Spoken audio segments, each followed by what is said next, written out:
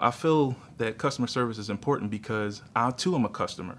I know that if someone comes to my home to resolve an issue, I expect the best. I expect them to come be professional, to be knowledgeable, and to get the issue that I have resolved. And so, knowing that that's how I want to be treated, that's how I treat my customers every time.